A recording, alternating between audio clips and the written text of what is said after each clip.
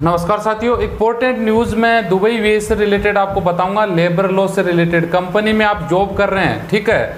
और कंपनी एक तो आपको तनख्वाह नहीं दे रही, ऊपर से हेकड़ी ऊपर से कर लेती है। आपने देखा होगा कई बार में कि उल्टा चोर कोतवाल को डांटे। एक तो कंपनी तनख्वाह नहीं दे रही है, उसमें पहले से प्रॉब्लम क्रिएट कर रखी है। फिर आप उनमें इस्तीफा देते हैं तो कंपनी आपके ऊपर इल्ज़ाम लगा देती है। जी हाँ साथियों, इससे रिलेटेड हम बात करेंगे। वीडियो अच्छा आगे बढ़ने से पहले चाहूँगा वीडियो अच्छा लगे तो लाइक शेयर करें चैनल सब्सक्राइब करके बेलाइकन दबा के रखें फेसबुक पेज वाले पेज को फॉलो कर लें, ताकि विदेश से रिलेटेड सही इन्फॉर्मेशन आपको यहाँ पर मिलती रहे।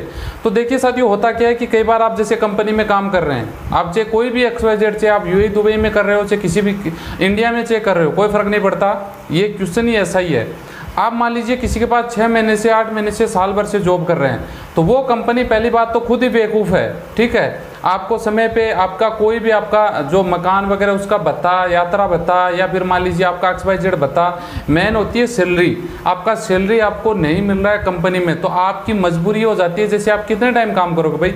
एक मजदूर आदमी, चाहे वो लाख रुपये कमाने वाला हो, चाहे बीस हज़ार कमाने वाले हो इंपॉर्टेंट उनके लिए पैसा है वो। तो बीस हज़ार के लिए, बीस हज़ार की कैपेसिटी का है, लाख रुपये के लिए लाख का कैपेसिटी का, ज़रूरी उसको पड़ता है। अब एक महीना, दो, तीन, चार, पाँच छः महीने तक आप कंपनी में बिना सैलरी लिए बराबर काम कर रहे हो। आपको ये लगता है कि कंपनी तो डूब रही है या फिर ये नाटक कर रहे हैं, इनको काम नहीं मिल रहा है, इनके पास पैसा नहीं है, कंपनी डूबेगी, उससे वो क्या करते हैं, फिर इस्तीफा देने की सोचते हैं कि भाई चलो, कंपनी में इस्तीफा दे देते हैं। कंपनी को पता लगता है कि अपने को तो फोकट का मजदूर मिल रहा है, फोकट का वर्कर मिल रहा है तो हम इस्तीफा स्वीकार क्यों करें? तो वो मना कर देती है कि हम इस्तीफा नहीं लेंगे, आपको जॉब करना है। उस दौरान मान लीजिए आप उनके मेल आप पहले हैंड टू हैंड ऑफ़िस में इस्तीफा देते हैं, फिर मेल से करते हैं। तो मेल से मैं हर बार वीडियो में बोलता हूँ, कोई भी आप आधिकारिक मेल ऑफिशियल मेल होती है ना उस पर आप मेल से मेल करिए। चाहे आपका आपका वीज़ा टिकट आपका एक्सवाइजेड कोई भी लेबर लॉ से रिलेटेड आपका क्वेश्चन हो हंड्रेड परसेंट वो एक विथ प्रूफ के साथ में एविडेंस माना जाता है कि भाई कंपनी को आपने ये बात रखी। आप मुँह माउथ टू माउथ बोलते हैं तो अगला मना कर देता है, ये तो आए नहीं हमारे ऑफ़िस में। ये तो उसने बोला ही नहीं, ये तो हमें पता ही नहीं। मेल से हर चीज़ तो आप मेल से इस्तीफा भेजते हैं तो कंपनी को पता लग जाता है कि बंदा निकलेगा हाथ से। तो उससे पहले क्या करते हैं इस्तीफा देने का मतलब होता है कि कंपनी को आपका बकाया पैसा चुकाना पड़ेगा। तो वो दिमाग लगाते हुए क्या करते हैं, उनको एक नोटिस भेजा जाता है, बर्खास्त का। जी हाँ साथियों, दुबई लेबर लॉ उन्नीस के तहत एक सौ बीस की धारा में एक नोटिस भेज दिया जाता है कि आपको कंपनी की तरफ़ से बर्खास्त किया जाता है। अब भाई बर्खास्त करने का मतलब क्या? इंडिया में आपने देखा होगा, घूस लेते पकड़े गए तो उनको बर्खास्त कर दिया। तो बर्खास्त करने का मतलब पीछे का हिसाब खत्म। कोई हिसाब नहीं है, आप अपनी जो, आप फ्री हो कंपनी की तरफ़ से। क्योंकि उनको पता है कि ये लेटर नहीं भेजेंगे, उनको बर्खास्त नहीं करेंगे तो फिर उनको पूरा पैसा चुकाना पड़ेगा पीछे की सैलरी का। उस दौरान आप क्या करें? आपने पहले कंपनी में नोटिस दिया, इस्तीफा दे दिया कि मैं जॉब नहीं करना, मेरी सैलरी बकाया मुझे दे दीजिए। उसके तुरंत बाद कंपनी एक्शन लेते हुए 120 के एक्ट 120 के तहत आपको एक नोटिस भेजा जाता है कि आपको कंपनी में आपने हमारे नुकसान किया, कंपनी आपकी वजह से बर्बाद हो गई, आपकी वजह से लॉस में चली गई, इस तरह इसलिए आपको बर्खास्त किया जाता है। उस दौरान आप उस सिस्टम से बचने के लिए पहली बात दो नुकसान हो गए। एक तो आपको सैलरी नहीं मिली छः महीने से, दूसरी बात आपके एलिगेशन लग गया। यानी आपको कंपनी की तरफ़ से चोर बनाया गया।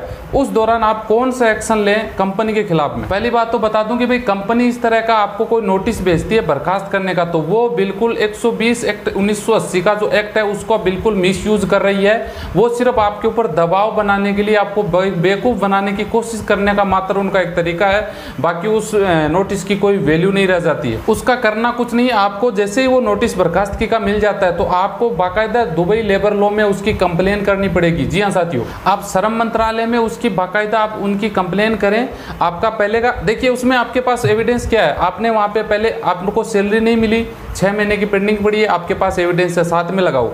दूसरा, आपने पहले से इस्तीफा उनको दिया आपने पहले इस्तीफा उनको दिया, आपके पास मेल होगी, आपके पास एविडेंस होगा, दो एविडेंस हो गए।